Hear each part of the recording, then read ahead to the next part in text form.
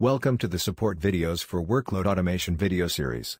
This video will demonstrate how to stop or start microservices in Control-M Server, using CTM SCA utility.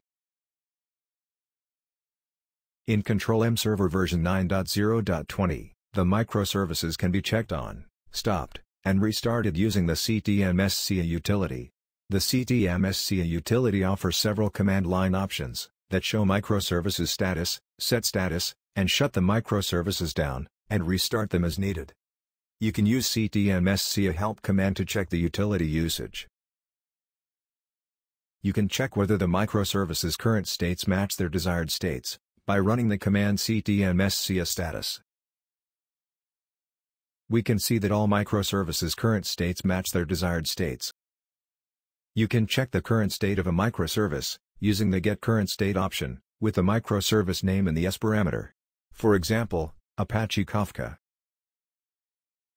and Apache Zookeeper. We can see the current states for Apache Kafka and Apache Zookeeper services are up. You can check the desired state of a microservice, using the Get Desired State option, with a microservice name in the S parameter. The Get Desired State function does not accept the All parameter. Please put the specific microservice name into this command. For example, Apache Kafka and Apache Zookeeper.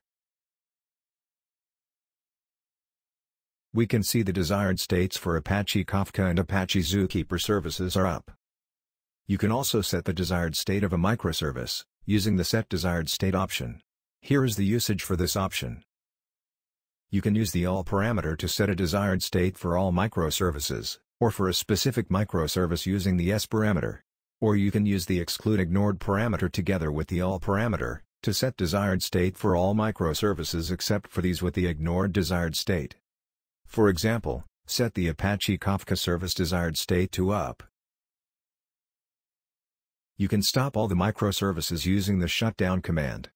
You can run the ps, ef, pipe, grep, deployment command first, to check the microservices processes. We can see all the microservices are running currently. Running CTM-SCA shutdown command to shut down all the microservices.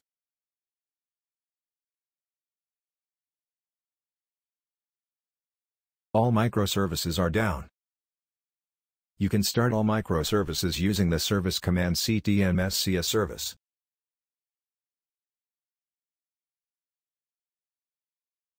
All microservices are up now. That concludes this Control-M Solutions video. Please see our knowledge base and YouTube channel for more videos like this.